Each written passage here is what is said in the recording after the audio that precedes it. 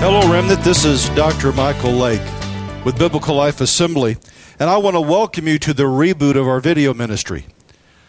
I can't begin to tell you what an honor it is that you have allowed me to come into your home, come into your uh, Bible study group, or your home fellowship. Our desire is to bring you cutting edge information from the Word of God, what God is saying prophetically, and to take you deeper into God's Word in your walk with God. You know, this fall has been very interesting, and if you've been watching some of our videos, you get a kind of a hint of what God has been sharing. Uh, during these fall feasts, God began to share with us the king is in, in the field. That's a time between uh, the Feast of Trumpets and the Day of Atonement during the, the 10 days of awe. God was expressing that He was in the field and He had come down to see what was going on in the earth and in the body of Christ. He also began to speak very distinctly that He was releasing a fresh anointing from heaven, a fresh breeze of heaven for the remnant, those that could hear His voice, those that were walking with Him, so that they would be empowered to move into a new level in the body of Christ. Then, when I was at our, our Great Tabernacles conference down with uh, Restoration Fellowship International, uh, God began to speak through my bishop, and, and it witnessed in my spirit. God was telling me some of the same things, and I began to share it with some of the prophets and apostles that were there, and they all agreed that God was releasing upon his people a year of Jubilee not the year of Jubilee, but a year of Jubilee. And we had discovered that it's something that we have got to announce that right now we have an open heaven that as we begin to take inventory, God is giving us the supernatural ability to separate what is the kingdom of God and the kingdom of darkness, also to realize what Satan has stolen from us, that we can claim it back, as well as discovering what he has put in our lives to hold us back, those weights that so easily beset us, so that we can begin making him take it back. Now, as a part of this Jubilee, uh, I began to take both personal and ministerial inventory of my life. I wanted to make sure that I was right on uh, target with what God wanted in Biblical Life College and Seminary, and Biblical Life Publishing, and Biblical Life Assembly and God began to speak to us in a very, very distinct way that our time of ministering with a local congregation was coming to a close, that we are now taking this to the next level, that we're going to begin moving on a national and international uh, type of ministry and that these videos are, are no longer me preaching to a congregation. It is solely targeted to the remnant of God, wherever you are in the world, that God is placing an anointing on me, a fresh breeze from heaven, to help speak into your life, to give you what you need to take you to the next level. You know, recently uh, I was reading a report, and I shared a little bit about this uh, with our new Biblical Life Deep Waters podcast, which is a part of what we're doing with the school. Uh, a Barna Group report that every month 1,700 ministers leave ministry. You know, there's another aspect to that report that we're finding that every day 3,600 people are leaving the church. Now, we could even take that and kind of break them up into, well, here are some that uh, was just really playing church. Here are some that weren't really saved. They were just social Christians. But I believe there's also a portion of that group that are the remnant that can no longer tolerate what's happening in many congregations today. They can no longer tolerate a, a lack of, of respect for the Word of God or the Spirit of God. They can no longer uh, dismiss the commandments of God, the feasts of God. They can no longer they can no longer tolerate hyper grace. And so they, they have become home fellowships and they, they're, they're just simply meeting with their families. And my desire is to speak to that group, to bring deep within with, for, for your family, to, to be your pastor, to be a, a mentor to help take you forward. That's our heart, that's our passion, and uh, that's what we're going to begin investing our lives into. Now, I'm not dismissing the many great congregations that are out there that are really sticking to the Word of God and they're sticking to what the Spirit of God is saying. And every day we pray for those pastors and we pray for those churches, but we also need to understand that God is raising up a remnant that will no longer tolerate all the games that are going on in church today. They're not going to type. They're not going to tolerate uh, superficial hype. Uh, they want true biblical standards and I believe the remnant are separating themselves to continue their walk with God in a heart, for a heart that is really after true, publicity. Now, remnant, my heart is for you, and my vision is to see Biblical Life Assembly become your source of inspiration and instruction in, in God's Word that is balanced and that is true to what God's doing in this hour. Now, in the past few sessions, we've been dealing with a lot of things. Uh, we have been uh, I've been trying to uh, expand your understanding of the universe that we're in and, and what reality. How many know that, that what we're facing today, the devil has pulled the wool over our eyes. He has created some type of pseudo spiritual matrix that we're in that we don't really see and understand what's going on, and we don't know how to flow into things of the kingdom of God. And so I begin to deal with, uh, with sessions like being established in truth, uh, uh a, a paradigm uh, the kingdom paradigm of reality, and then they, a call to uh, Jubilee in the 21st century. These are some foundational things, and if you haven't discovered those, please go to our YouTube channel and sit down with your family, get paper, and uh, get your Bible out, and begin getting those foundational things into place because I want to take us on to the next level. For us to move where we need to move, we need the Spirit of God, we need the Word of God, and our walk has all got to line up with the Word to move us out of Babylon and into the jubilee that flows from the throne of God. Now, if you have your Bibles, I want you to turn to Haggai chapter 1, verses 2 through 9. And this is a call of God for us to examine ourselves. And how many know that's good spiritual practice? But I think there are seasons that God calls us to examine ourselves because the enemy has snuck in somewhere, that the small foxes are spoiling the vines, that we need to, to see really what God's doing, how our, how our lives line up with that, and how to get the devil out of our, our family, out of our lives, and what God's trying to do. Starting in verse 2 Thus saith the Lord of hosts, saying, uh, uh, saying, this people say, The time is not come, the time that the Lord's house should be built. Then came the word of the Lord to Haggai the prophet, saying, It is time for ye, for you, O ye, to dwell in your sealed houses, and this house lie waste. Now therefore, thus saith the Lord of hosts, Consider your ways. You have sown much, and bring in little. Ye eat, but ye have not enough. Ye drink, but ye are not filled with drink. Ye are clothed, but there is none warm and he that earneth wages, earneth wages to put them in a bag with holes. Thus saith the Lord of hosts, Consider your ways. Go up to the mountain and bring down wood and build the house, and I will take pleasure in it, and I will be glorified, saith the Lord. Ye looked for much, and lo, it came to little, and ye have brought it home, and I did blow upon it. Why? saith the Lord of hosts because of mine house that is waste, and ye run every man unto his own house. Now, one of the first things I want to look at is the Hebrew word here, say to consider. What's this dalrech, which means a way, a road, a distance, a journey. It means a matter, a habit. God is calling all of us during this time of Jubilee to consider or to closely examine our way, our journey, our manner of life, our habits, and our course of life. Now you're saying right there, now this is talking about the temple of God. Let me, let me put some things forth just for your consideration.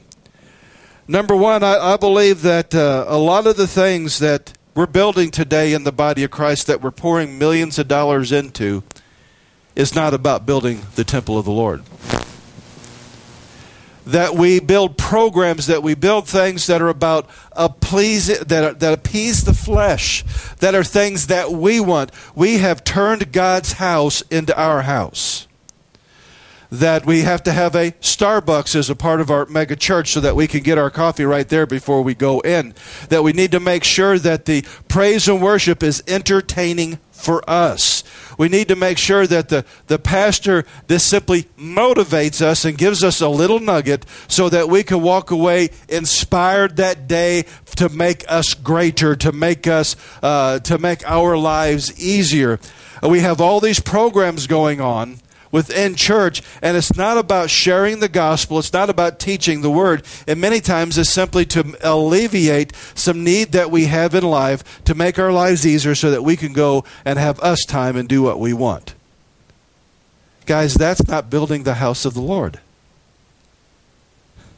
It's not. Now, uh, I really think that the real temple of God today lays desolate and contaminated say, Dr. Lake, how can you say that?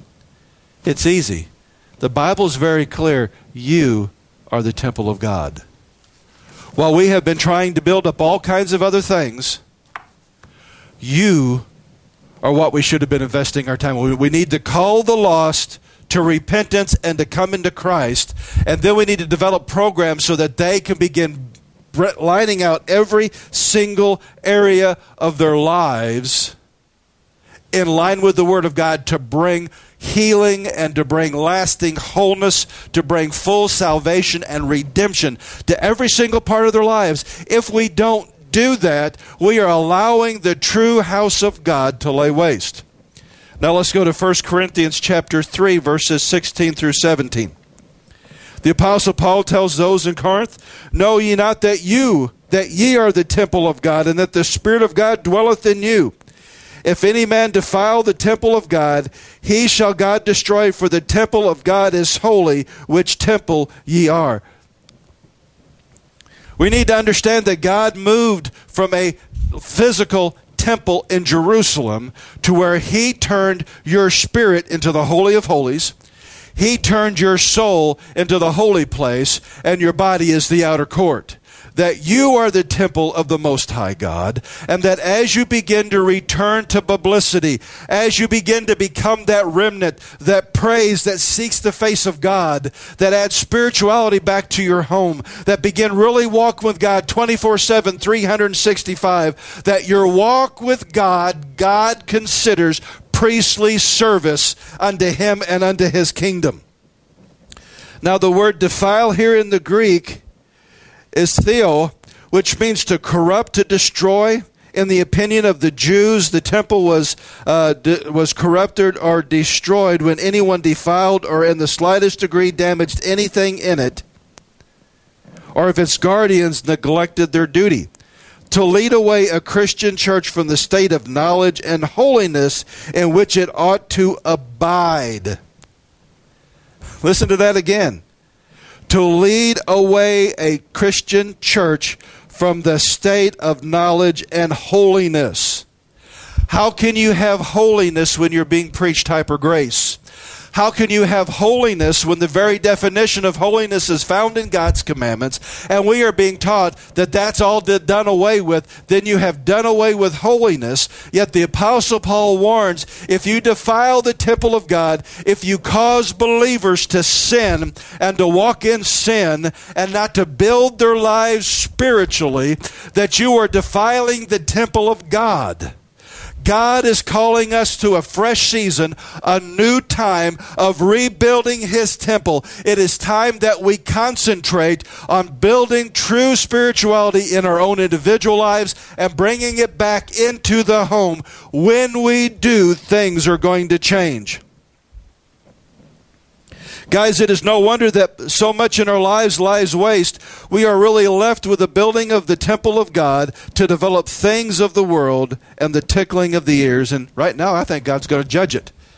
I think we're going to see a, a major sweep. I think God's going to begin defunding a lot of things and wake up a lot of people to what they're giving their money to if it's not really building the kingdom, if it's not really building the temple of God. God is going to begin defunding that and He's going to begin moving it to those that are investing in His people. Now, part of starting out all of what God is doing and what the enemy is doing in our lives, we got to examine our ways. Is it really God? Is it building something of real kingdom worth? Now, friends, in this hour, in this day, I choose to invest in you and your family. I mean, this was a real step of faith for us. We have no local support at all for what we're doing. It's all based upon our partners scattered across the United States and other countries. Because I believe in you that much. I want to pour the rest of my life into the remnant to see your family become stronger, to see you walk with God like you never have before, to see you hear the voice of God and know that it's God's voice without a shadow of a doubt. And for you to be able to open up this word and not only understand what is being said there, but be able to live by the power of the Holy Spirit what God's saying.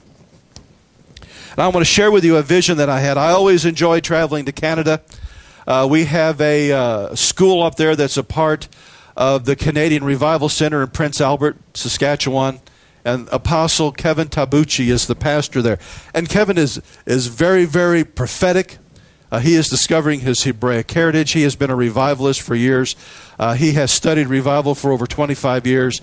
Uh, he's run with people like R.W. Schambach and, and many others that just love to see souls saved and to see them come and, and begin living God's ways.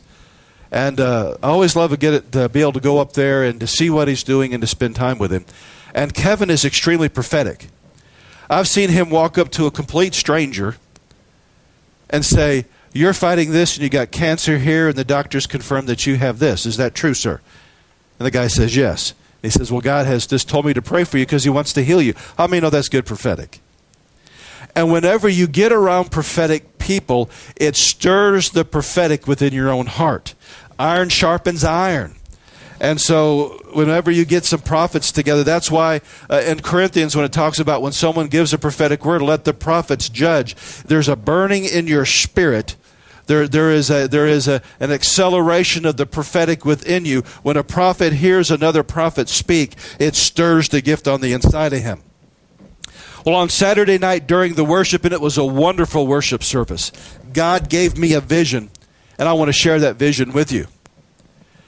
God lifted me up above that church, and it was at night, and the entire city of Prince Albert was dark.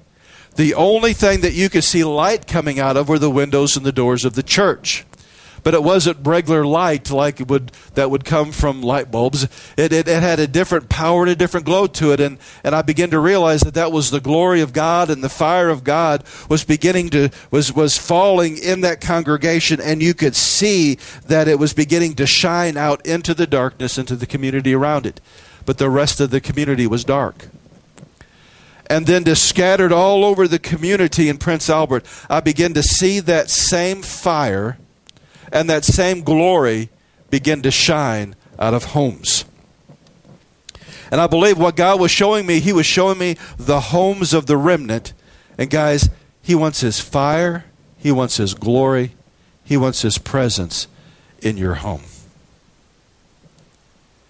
In fact, when I asked uh, Lord, Lord, how can this be? He just simply gave me one word Obed Edom. And Obed Edom was the man after David uh, took back the Ark of the Covenant from the Philistines, and he set it on a donkey cart, which you shouldn't do. That's a pagan way of doing things. He didn't go back into God's instruction on how the throne of God should be moved. Uzzah reached out and touched uh, the Ark of the Covenant to study it. He dropped dead. David said, huh, I'm not bringing this thing into Jerusalem until we find out what's going on here. And there was a guy named Obed Edom. And when you dig a little deeper, he was a Levite that he knew from God's instruction. The Levites were teachers of the Torah. He knew exactly how the throne of God was to be established. And so they brought it into his home and and he knew how to maintain and give proper dignity to the throne of God in his home. And the word goes on to say that the blessing of God settled in on that house. All that he had, all that pertained to his household was blessed. And when David heard that, he knew that it was time to go ahead and take it in Jerusalem. And God is saying, I want my throne established in your home. I want you to be an Obed Edom. I want to establish my throne in your home, that the kingdom of God begins to rule and reign in your household. And when it does, that's going to be the fastest way to blessing for your household. You know, today we see preachers get up and make all these extraordinary promises that if you just write out a big enough check and send it in, that all these blessings are going to come on you. I've said it before and I'm going to say it again. You can't write a check big enough to overcome your disobedience. God is calling you to obedience. It is always better to obey than to sacrifice. Now, I'm not uh, uh, I'm not against giving to ministries. You need to be led by the Holy Spirit. The Holy Spirit needs to show you the amount of where to give, and when you give according to what God has put in your heart, He's always going to bless that. But I think I think that is added on to a life of obedience. That when you're doing what God wants you to do, and you're establishing His shalom, His peace in your household, that it's going to bring blessing to your household, that regardless of what happens in the economy, uh, regardless of what is happening in the world around you, the kingdom of God is established there, and your home becomes an embassy for Jesus, the King of Kings and the Lord of Lords. Messiah Himself has taken up residency there and therefore his kingdom begins to supply supernaturally. Healing begins to take hold and it drives out sickness and disease.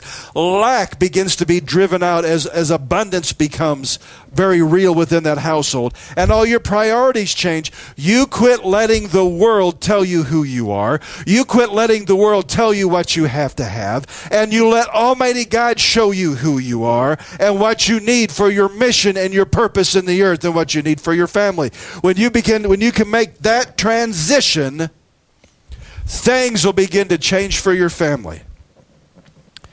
You see, I believe that the Protestant movement hasn't protested enough. The Catholic Church made everything institutional centric. That your very salvation depended upon your church membership. And that you couldn't understand the Word of God. In fact, it was illegal to own the Word of God. Only their priests could read it, and only their priests could tell you what you were supposed to do. And only their priests could forgive sins. How many know that's not the kingdom of God? That's not the way things should be at all. Your church that you're going to are using these videos is an instruction resource so that you can walk with God, so that you can hear God, so that you can develop your faith, so that you can walk in the ways of God, which will produce blessing in your life. It first needs to become family centric because if you have a church of healthy families, you're going to have a healthy church. If you have a church of messed up families, it's going to run the pastor to death, and the, and the sheep are going to end up biting and trying to devour him. It doesn't work. That's why we have 1,700 pastors leaving the pastorate every month. It is not because they're being attacked from the outside, it's because they're being devoured from the inside. Because the way that we do church and the way that we're doing the Christian faith in America today produces carnality, it does not produce spirituality. And God is saying, I want to hit the reset button I want to have a jubilee. My body, the remnant, has got to have a jubilee. They have got to empower themselves in the kingdom of God to be able to move forward in what's coming in the earth. Now, here are some steps in the right direction. I'm just going to comment on these just a little bit because I want to take each one in the weeks to come and really break it down so that, that not only that you know that you need to do it, but how to do it. And I want to use some examples. The first one is prayer and worship at home. Evening prayer is so important. You and your the husband and wife coming into agreement, the power of agreement is never greater than when it is between a husband and a wife. You've already been made one in the Lord. No wonder the devil fights a husband and wife really coming into agreement, that is such a powerful thing. And we'll get into why you need to do it at the evening, why it's so important biblically. We also need to uh, reincorporate praise and worship in our homes. We need to turn off the boob tube. We, we, we need to quit letting Hollywood put us into an entertainment mode. It's good every once in a while to be able to just chill and to relax and maybe watch something. But we don't need a constant diet of entertainment. It ends up putting you spiritually asleep. It ends, it ends up muddying the waters. It, it's, it's a distraction, it's an, an amusement. And if you look up the original word, uh, the definition of amusement, it was to do something over here to distract so that you could get something done over here. So there was a deception to it. Guys, we need to we need to have praise and worship in our homes all the time. We we the Bible says that we need to, to pray without ceasing, that the praises of God should be on our lips all the time. And I look for opportunities both to hear the word and to do praise and worship. Uh, I've got an iPhone even in the mornings when I get on the elliptical walker, I'm either being instructed in the Word, listening to a podcast on, on how to improve the way that we do things in ministry, or I've got praise and worship on so I can actually have a praise and worship service even while I'm on the treadmill. I've got a little portable uh, Bluetooth speaker system that's this is a small cylinder that I can set in the car. I can listen to praise and worship all the way to uh, to the office. I've got about a 30 minute commute to get from where I live to here. And the same going home, I listen to praise and worship. I listen to things that are going to uh, spiritually build me up. When I have this busy work here at the office and I don't need to be concentrating and I'm not writing, I have praise and worship on. The other day, my wife and I, we had to make a trip to Springfield. And so I just simply plugged my iPhone in, into the system in our truck and listened to Don Moen. And I tell you what, we had church all the way to Springfield. I mean, anointed church to the place that tears were rolling down our faces by the time we pulled into Springfield. And I turned to my wife and I said, honey, we just had church. How much more uplifting that is. And the Bible says God is enthroned on the praises of our people. And so you're creating a throne for God everywhere you go.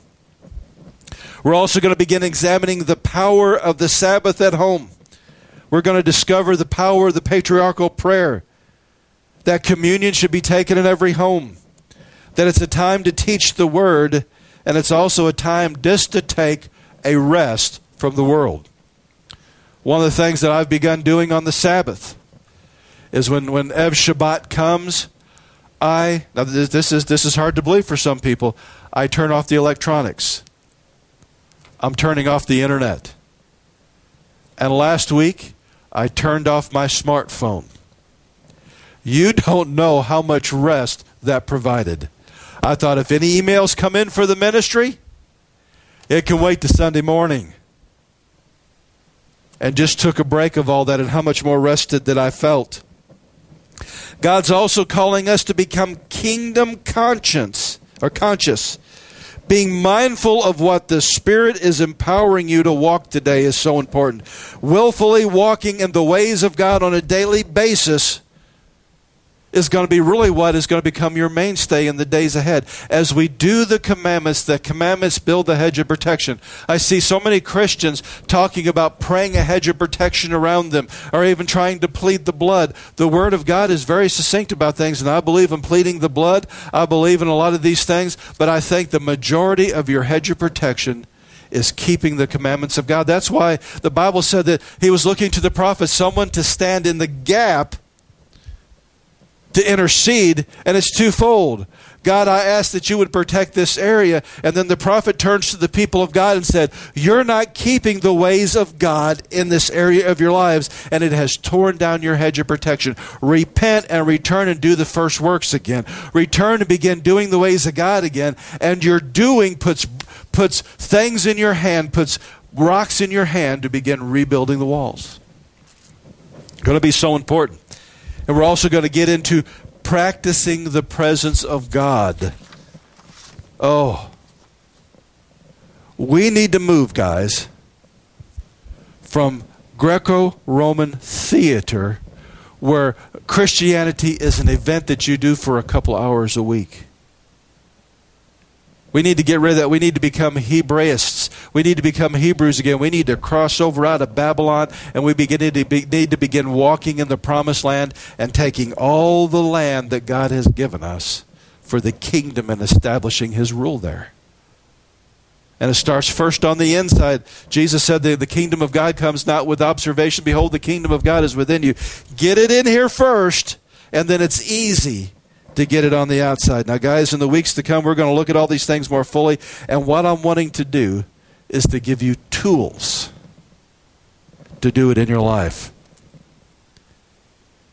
And once again, I can't tell you just what an honor it is for me to be able to do this and to, and to speak to your family and to, and to come into your homes and to come into your fellowships. It's such a blessing. And this is a little bit different for me. It's going to take me a while to, uh, to exercise the mental muscles, if you will, uh, to do videoing without an audience or without a congregation here. But we're going to get there. Just give me just a little bit. But I know God has something in store.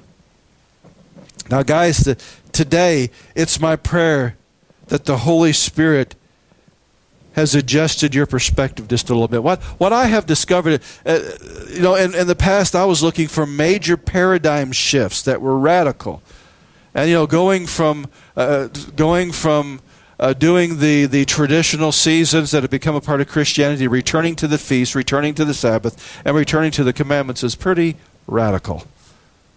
It's radical because you simply believe what God has said and you try to find the origin of everything that we do and find out if it originated in Jerusalem or it originated in Babylon. so important. But what I'm discovering right now is it's just God changing our perspective, just adjusting it a little bit. If you've ever been in the military, there's something called shooting an azimuth that uh, if you're trying to go from here to there and you're on foot, you got to line up and know exactly, be able to take your compass and, and know exactly where you're headed. Because now, if you're just going, you know, just a block or two, it really doesn't matter. But how many know life is a long journey? If you start out one degree off and travel a hundred miles, you're going to end up in the wrong city. You may end up in, in not even near where you're supposed to be. That one little degree extrapolated over a hundred miles or a thousand miles can put you so off course that there may be no way of getting back to where you should be. And I think what God is saying right now, He's saying, listen, let me hit the reset button. Let me, let me just change your perspective and change your focus so that as you do, I can lead you back to the right place. A Jubilee is telling us it's not too late. A jubilee from heaven is telling us listen, if you will allow me to adjust you, I can still bring you into your best no matter where you are in life. I'm excited about that. I also ask that and pray that the Holy Spirit gives you a new determination and anointing to build the temple of God within your life and within your family. Now, let me pray for you. Father God, I just thank you for the remnant. Father, I thank you that they have a hunger that they have a thirst for righteousness. They have a hunger and thirst for the ways of God. And Father, I just speak over that hunger. And Lord, I call it to increase. And Father, I loose an anointing of a Bible student upon them. Father, I loose an anointing that the Word of God would come alive in their hearts. And Holy Spirit, I ask that you would come and anoint your ways in their lives like never before. Father, let it be accelerated and let it be empowered in ways that they have never experienced to establish your throne and your kingdom in their hearts and in their homes. And I thank you for that, Father, in Jesus' name. Now, if this has been a blessing to you, I ask that you would share this, uh, our YouTube channel, with your friends, with your neighbors, uh, blog about it. Help us get the word out about what we're doing and introduce more people to our Biblical Life YouTube channel. And I also encourage you to stop by our, our website, biblicallifeassembly.org. Uh, you can download all the messages that I have done in the past and the ones I'm doing now in MP3, uh, just the audio portion of it, so that you can place it on your smartphone and listen to it during the week and not necessarily be stuck in front of a television. It'll help you redeem the time. Until next week, may God bless you. May God's face shine upon you. May He establish your kingdom in His life. And may Almighty God fulfill His word in your life. In Jesus' name. This is partner time now at Biblical Life. And I just want to take a few moments to thank our partners and our friends. Your daily prayers for us and your monthly giving to this ministry enables us to do so much. It enables us to produce the videos, to produce the DVDs, and allows us to expand the vision of what God has called us to do. Now, if you're a part of the remnant and you have been disenfranchised from a local congregation and you're using our, our video casts uh, to feed yourself and to feed your family, and in, in essence, we have become a virtual church for you, I want you to spend some time in prayer about giving your tithe to this ministry. There is, there is a direct link in the Word of God going all the way back to Abraham when Melchizedek came and revealed to him the mystery of Messiah with the bread and the wine that he gave the tithe to where he got spiritual revelation. And then, of course, it went to the Levites that were their duties were to train the people in the commandments of God in the Old Testament.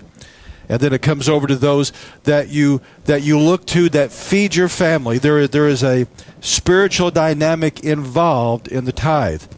And uh, if you have never studied that out, we do have a YouTube video uh, up there called The Spiritual Dynamics of the Tithe. I encourage you to watch it.